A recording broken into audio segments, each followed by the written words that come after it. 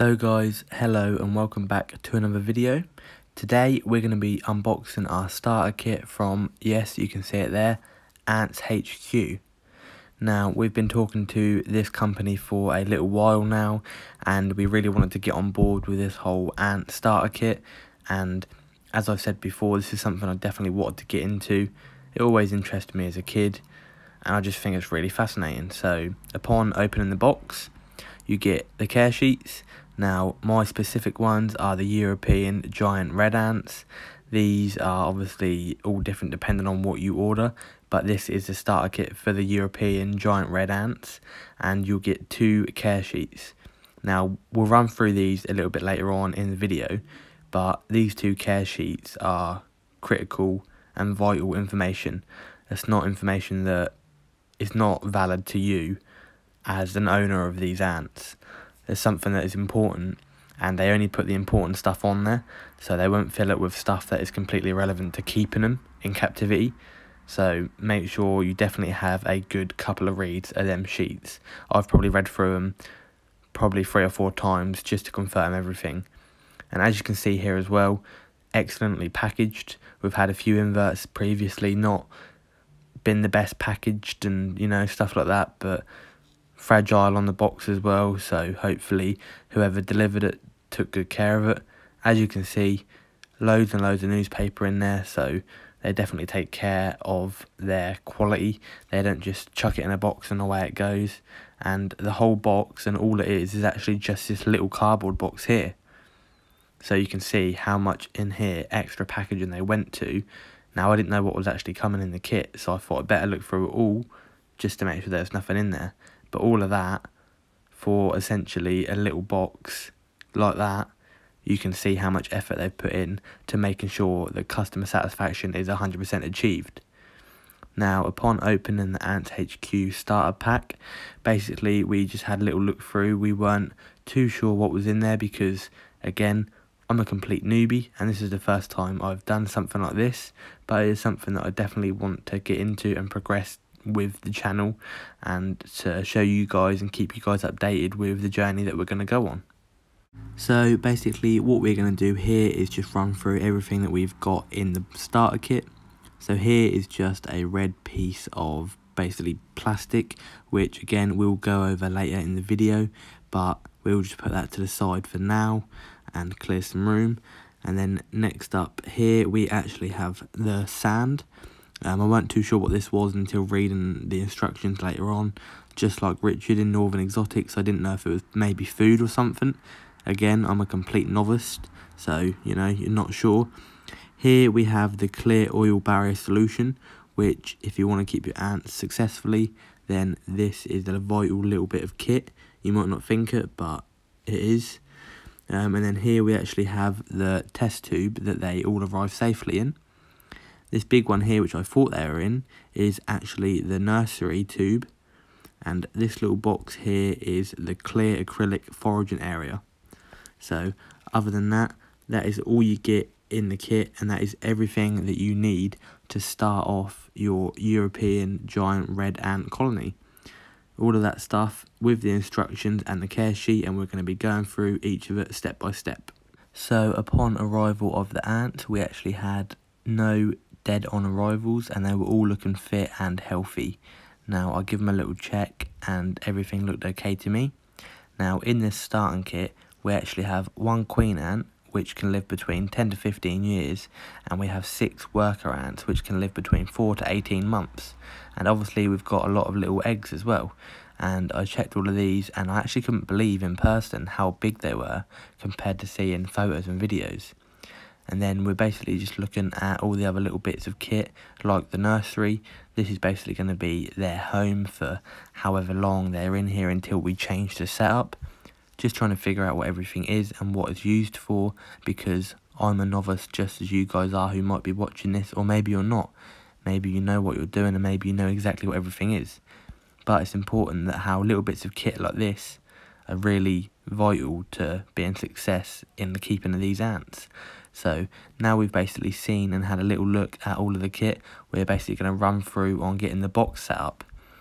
Now, when it comes to the box, I actually confirmed with Ants HQ themselves if it was set up correctly, so I didn't have no escapees, and they responded instantly and quickly, and they're extremely helpful in telling me that that is correct and safe. Now, if you guys are struggling, all you've got to do is pause this video and look yourself and do exactly how I have. So guys, now the little tub has been assembled. We have got everything how it should be. This is it.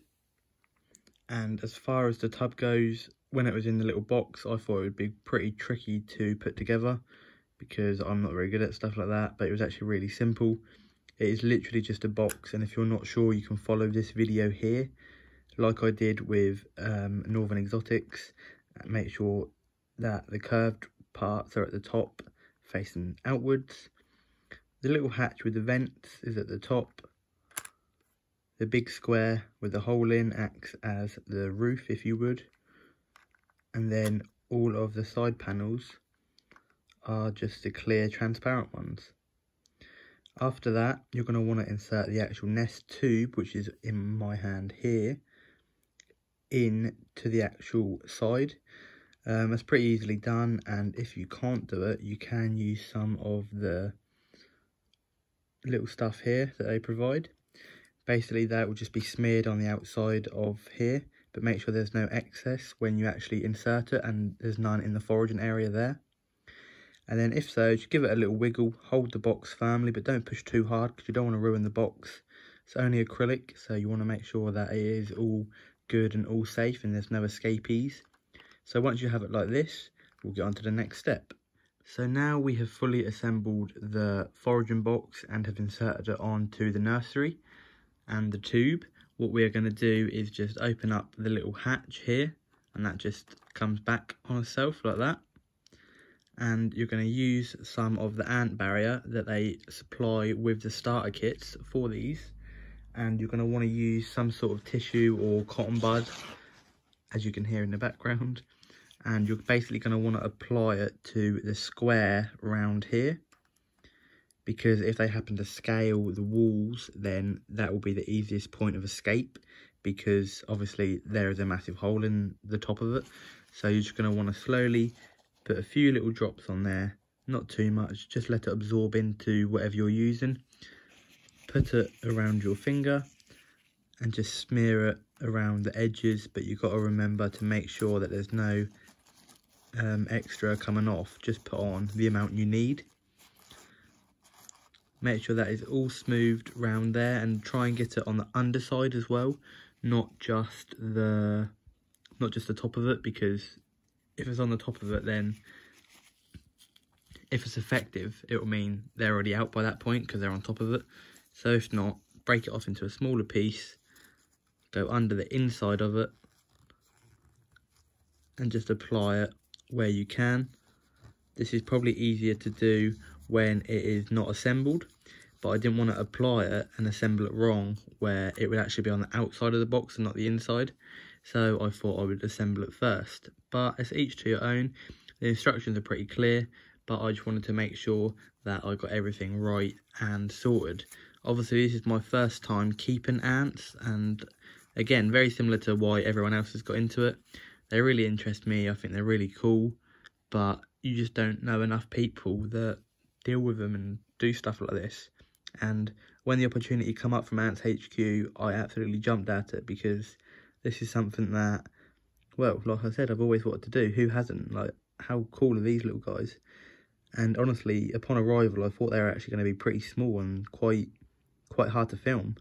But bearing in mind I'm only filming with an iPhone, you can actually see them pretty well and I'm surprised at how big they are. So now you have applied the ant barrier to the foraging box here, we'll get on to the next step. So before we do move on to the next step, like I said about making sure you apply the ant barrier to the inside of the box, remember as well that has got a hole in and this does shut so you also want to apply it to the underside of this surface which at the minute like this is the top surface but when it is down and closed with a bottom surface. So again, just a small amount onto a bit of tissue, wipe over the top, and hopefully you'll have no escapees. Now, before you go on to add in the sand that they have supplied, you just want to make sure that the box is assembled correctly and how it should be. Now, because I worry like crazy, I actually confirmed this with Ant HQ and they said it was perfect. But again, they said to me, any questions at all, they're happy to help.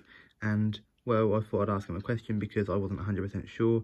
And they were more than happy to help me out and they got back almost instantly and they've been really helpful through the whole process of this and I genuinely couldn't recommend them enough. So now you want to make sure that the panels are all fitted how they should be and that there's bands on either side. So we have one at the top there, one at the bottom, you probably can't see them very well, there you go. And that is the same on the other side as well. Also you want to make sure that the acrylic sheets are removed uh, either side because there's one on each side of the each acrylic panel. Make sure that that is all removed. The bands are on, the box is secure, and then we'll be ready to add the sand. Now, like I said, they give this as a optional extra, but I'd, I'd recommend it personally because that's why they've included it. Why wouldn't you? I think that would give a much more sort of natural environment for them guys, and that is what we try and do on this channel. Try and make everything that we keep in the most naturalist environment. Now, I'm not too sure if you add all of this or not, but I'm just going to use the end of the pipette to just sort of move it about a bit. Now, I feel like I've probably only used about half, but what we're going to do is fill it all up and see how how it looks once it's all filled up. But like I say, it doesn't have to be done, but I think it'll look pretty cool. So we're going to add all of that in. Once that is in, you just want to give it a little move about so there's not sort of no steep edges, well not edges, but you know, no steep like drops or anything. And once it's in, it should look something like this now. Which does make more sense adding it all in because that levels up to the hole in the nursery a bit more instead of such a sheer drop. Not that it would bother them too much. So there we go, that is the next step all done. Now moving on to the next step, in case you guys think I know what I'm doing, I don't have a clue, but luckily enough they have provided all of the care I need to know about them. So I'm literally just reading through the instructions and going by that because obviously they know a lot better than what I do. So yeah, like I say, a little run through on these quickly. Loads of cool information, temperature, ideal sort of environment for them. The lifespan, the Queen, 10 to 15 years. That is crazy. That really surprised me. Workers, 4 to 18 months. All the stuff that is included in the starter pack, which we have shown you. Then the apply the ant barrier, which is what we just talked about. That is all done. Decorate the foraging area, tick. Carefully put together the foraging area box, which we have done, and removed the film, which is all sorted. Yep, looks pretty good to me. And then gently connect the nursery tube farm to the foraging box via the portal provided. That is all done and dusted. Again, remember to use some of the ant barrier if you need to. Now, this bit, this is the next step, number five, before we get to the good stuff. They even say it there, that now comes the fun bit. See, we're all waiting for it. So number five, carefully prepare water into the chimney that's secured by a black cap.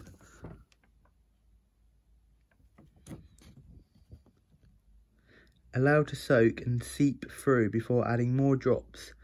Once the plaster has fully absorbed the water, water, stop.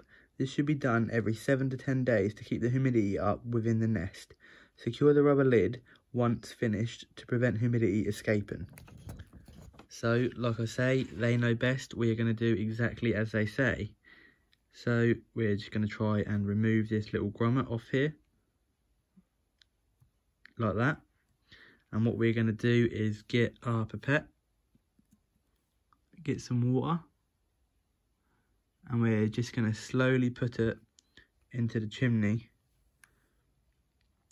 until it absorbs all of it so we'll add a few drops to start with. A bit off camera there, my bad. A few drops, oh, that's a little bit too much. A few drops to start with, I said. and then we'll check back in a minute to see if that has absorbed so or not. Now that we've left it a few minutes and that water has absorbed, what we're going to do is add our final bit that we have in the pipette.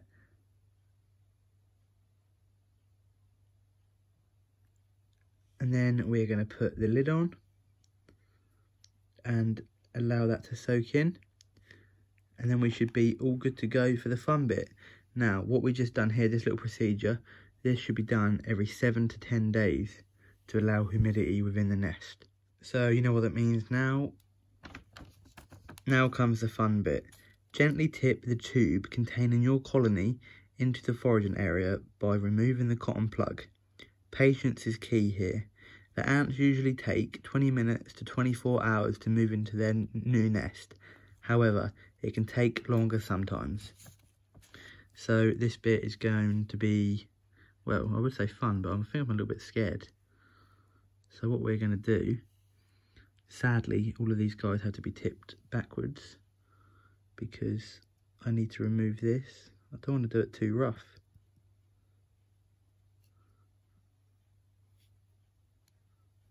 I'm going to keep it on camera because this is a learning experience as much as it is for me as it is you guys as well. So we want to make sure there's none on the underside of that so we don't crush any. And then once this one individual goes, we should be good to go. Right, here's moved down. So what we're going to do is fully remove this. Now I'm a little bit scared. And we are just going to slowly tip it in like that. And as you can see, they are making a run for it out of their own choice. They're going in. They're trying to carry the larvae as well. I feel like they're all sort of panicking, but you don't want to rush the process. Just going to hold it here. Hopefully they shouldn't escape because I've got the ant barrier on. And that guy's escaping. Oh no.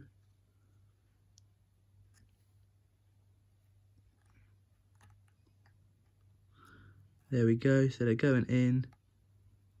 The queen is going back. Now we were pretty successful there. Everyone was in, but we've got this one little guy, which I assume is probably the troublemaker who we had last time.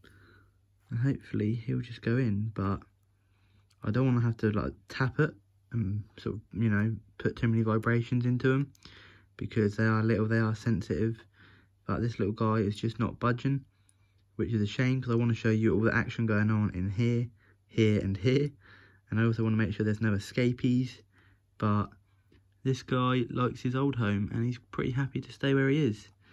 So back to what we said earlier, we might have to cut back in a minute when he decides to actually come out. So there we go, they're all in at last. That little guy was not budging and then he lost grip and fell in, so unlucky. But here we go, look, we can see all of them moving. And already it is instantly interesting to me. I think it is so fascinating to see. And you can see in here as well. I've got a little bit of reflection from the light above me, but there you go. You can see them doing their thing, checking it out, exploring, seeing what's happening, going through each of the layers.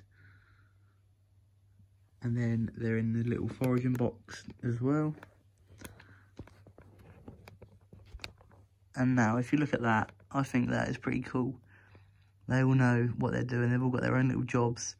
They're all checking it out and panicking and, ah, you know. But this is something that I instantly knew when the opportunity come up, I'd want to do it.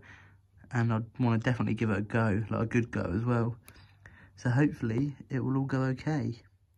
But you can't say that these guys haven't had the best start with us here at ARC Exotics because look at the setup. I think these guys have had a very good start. So hopefully that will bode well for the future and they'll be on their way. So reading the care sheet a little bit more, the smaller workers will actually be called nurses and their specific job is to look after the young brood like they are now and sorting everything out how they should be. There are some of them, like this other guy in the corner, not bothered at all. But some of the others are pretty bothered and they have the larvae with them and they're moving about and yeah so that is pretty cool like I say I've learned something new there today I didn't know that and I think that is pretty cool. So after a few questions and a little bit of looking into it I've basically found out that the workers or the nurses, the smaller workers, will take the eggs and feed it liquid and protein. So that is why for these guys, which are the European giant red ants, are really important to have a protein source.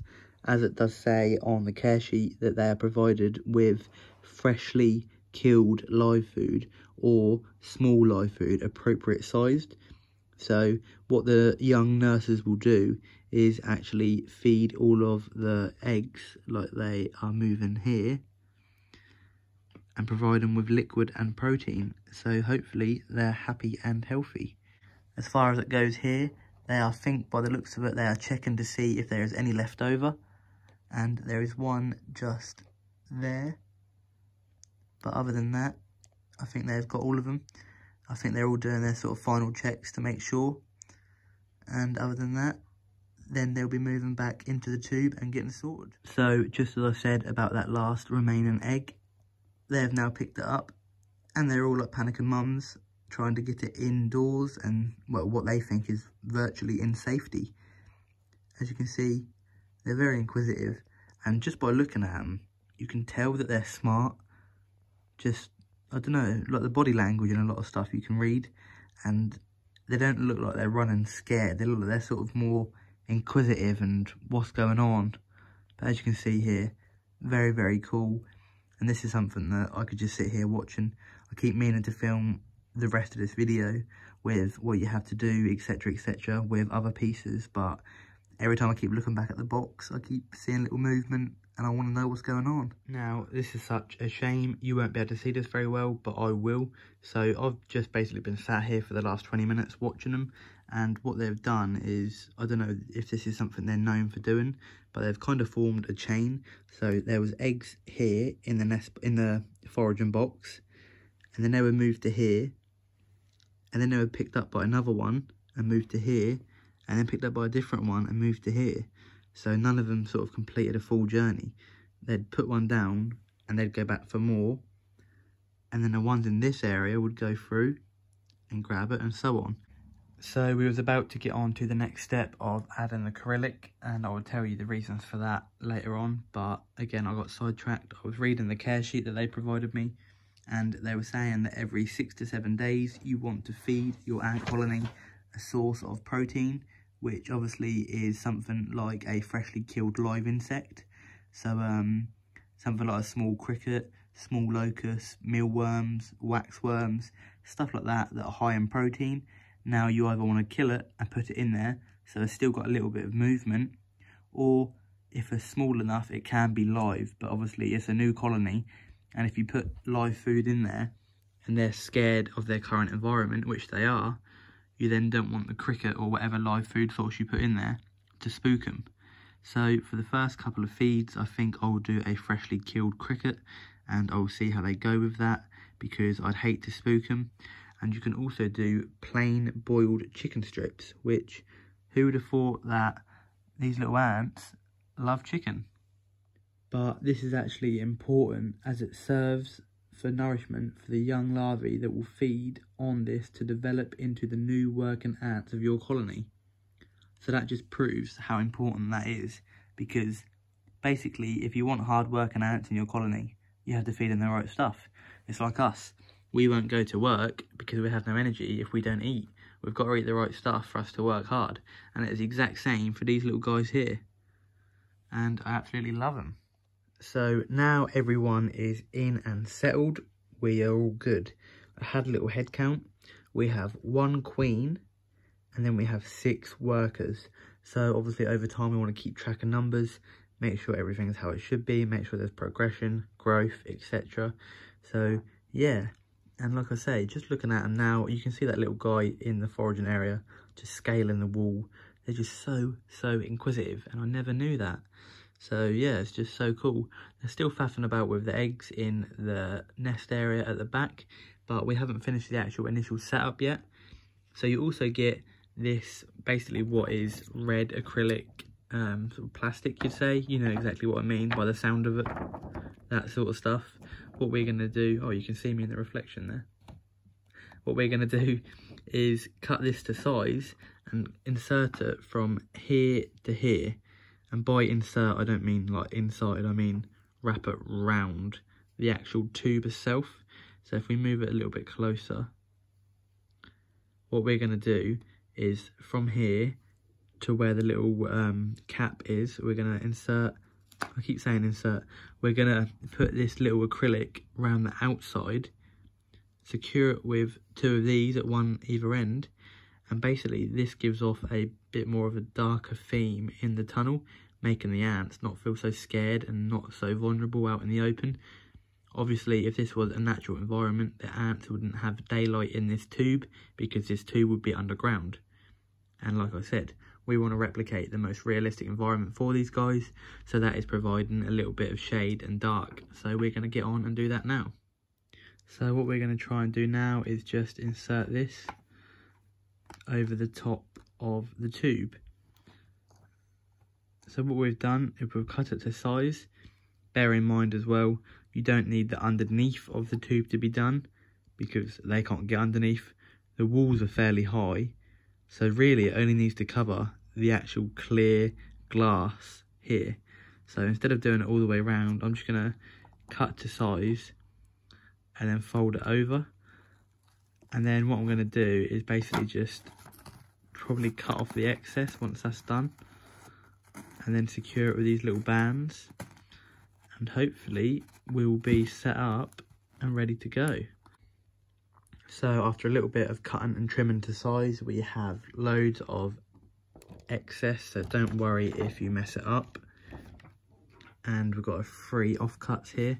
So what I've basically done is you don't want to have the bands right at the end of that side and one right at the end of that side because if the band moves slightly to, for example, this side on the left, it would then come off. And if the band on the end of this side slightly moved to the right then it would come off. So to prevent it from coming off keep them sort of evenly spaced in the middle. Now what I've done so I can see every single part of what they're doing I've put one band where the wall is in the nursery. Oh this little guy's just chilling and I've put the other band where the second wall is so then I don't miss out on none of the action I've also used two little bands here just to make sure it is tightly on the end. And once that is set in place, I'll remove them. But other than that, that is our full setup of the Ants HQ starter pack for the giant European red ant. So now what we're going to do is a quick little overview on everything that we've got in this package. Now, if you guys want to get your hands on something like this or this specific set, especially with the European giant red ants, then you can. So this set is £50 and what you'll get is everything that I've shown you in this video. And to be fair, is everything you need to have your perfect starter kit. So obviously you'll get the nursery tube ant farm, which is what we've got here. You'll get the clear acrylic foraging area box, which by the looks of it, they're all foraging in now. You'll get a pipette, which we have there to add the water in. You'll get a clear oil barrier solution, which is just below it to prevent them from escaping and running around your house. And you'll also get the sand, which is also in there as well. And obviously you get the test tube, which they arrive in, which obviously isn't included because you don't have it as a day-to-day -day care for these guys but it might come in handy if you're planning on growing the colony out bigger in the future. So always keep it because you don't actually know if it will come in handy. So other than that this is everything you get for the ants hq european giant red ant starter kit now we're going to go place them in the reptile room in a darkened area and out of direct sunlight because that is what is recommended from the experts over at Ants HQ. So let's go and do that. Now I thought I would try and put a little mealworm in there. Now because they're a new colony to me and they're just settled in, I thought they'd be quite scared. I dropped it in there. One of them walked past it. The other one acknowledged that it was alive and jumped on it and done about 10 barrel rolls and grabbed hold of it. And then once he grabbed hold of it, more come out of the nursery and started attacking it. So it's like he knew that he needed help and others come out to assist with him and now they've all ganged up on him and basically are eating him and I think what they're trying to do is basically move him into the nursery maybe because it will be harder for the prey item to escape or something like that but they're definitely trying to move it into the nursery because I put it at the very start of the foraging box. They have now moved all the way down to the bottom and as you can see here they're sort of prepping it to go into the nursery. Now I didn't think they'd eat. I thought I'd put it in and monitor it and keep an eye on it because I didn't want it to work its way up to the back of the nursery but they have taken it very well and they're eating really really aggressively which to me is pretty cool because I didn't think they'd eat that aggressively and they've proved me wrong. Now, as you can see, they've taken their time with this. It's not something that they're rushing um, and they're not sort of all on it now. At first, they were all attacking it, and now it only seems to be sort of one or two at a time, and then they'll sort of switch over for another two to come in and start on it. But once it's been in there for a little while, they basically sort of lower the the rate of trying to work it down. And basically now, by the looks of it, what I said earlier, is they're trying to sort of work around towards the front and hopefully end up with it in the nursery.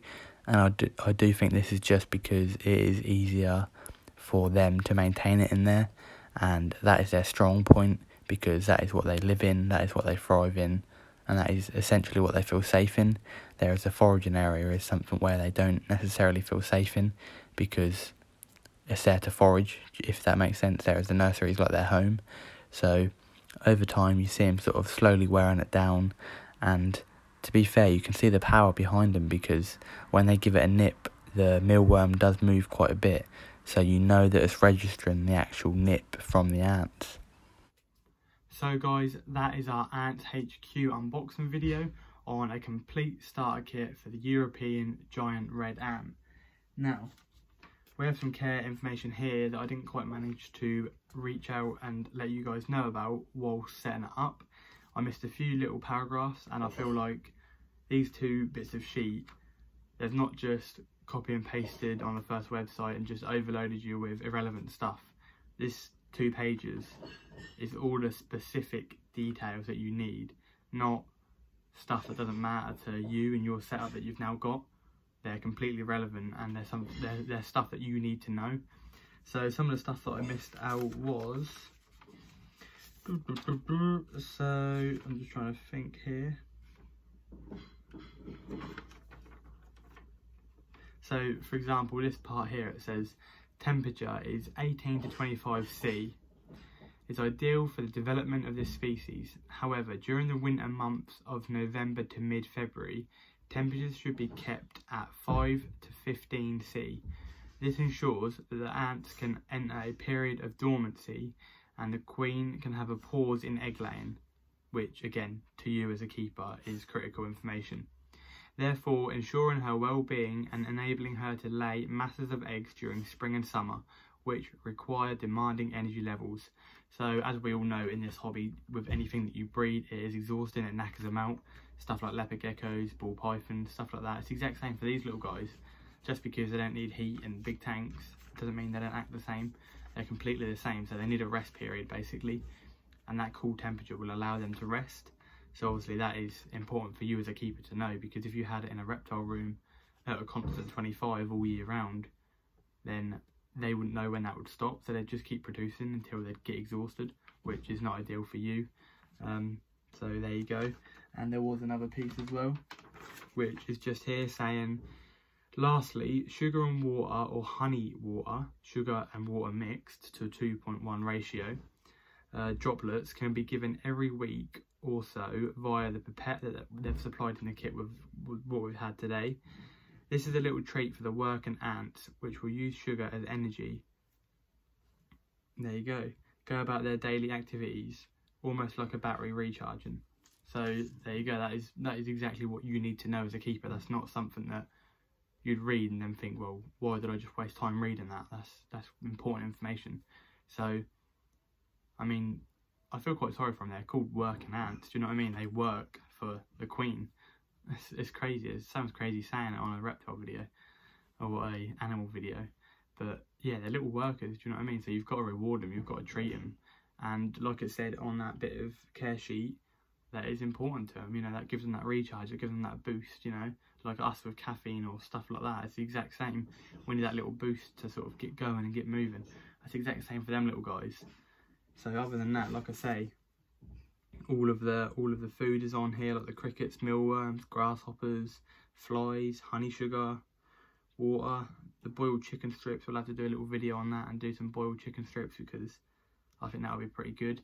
You see in the previous clip before this, I, I fed a tiny mealworm and I thought I'd monitor the feeding because I didn't want to put it in there, leave it and no one go for it and the mealworm make its way down to the queen.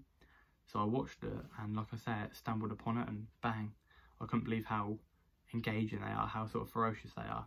And again, it does say on here that they are an aggressive species and it is perfect description. Like these two sheets, if you want your ants to thrive, these two sheets are critical.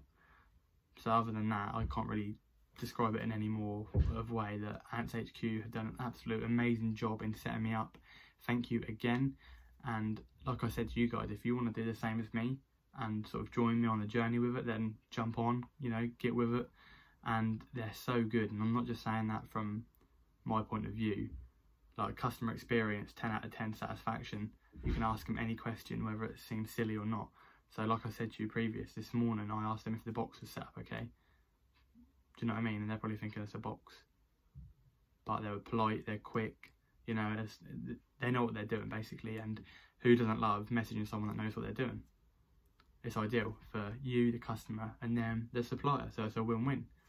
So other than that, Thank you for watching today's video and now I can't wait to do loads of videos involving these little guys eating and foraging and different setups and growing the colony, stuff like that. It's going to be really good. So if you want to follow the journey then make sure you subscribe and like the video. Drop a little comment of what you want to see me do with the colony next as far as ideas go for like growing out and stuff like that. And if you guys want any ants yourself, obviously Ants HQ, you know where to go. I will put all the links where they should be and also get over to my Instagram if you want to check them out over there. That is how I found them and messaged them and that is how we've had our whole conversation through there. So get over there, see what they've got and look at some cool setups. Thank you for watching today's video.